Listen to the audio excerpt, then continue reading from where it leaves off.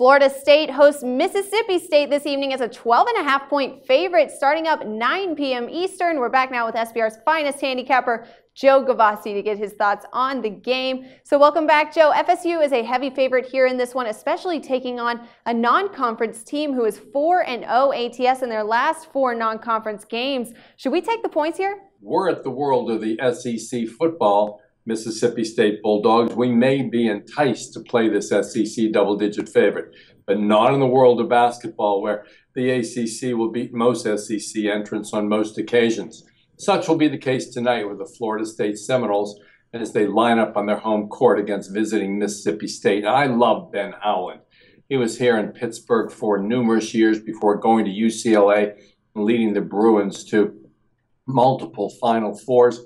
He's back his first year with Miss State, and they're having a little trouble regrouping.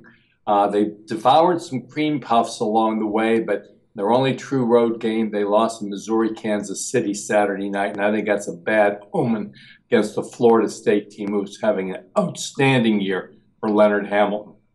Now, we're never usually a backer of Hamilton and the Sems in the big favorite role, but tonight may be a bit different.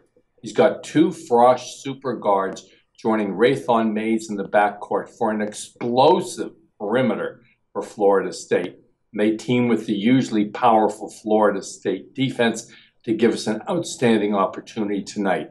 The Florida State team far further along in their development, returning all five starters and ticketed for a top four finish in the ACC, we lay the points tonight with Florida State in an anticipated high scoring 20 point win over visiting Mississippi State.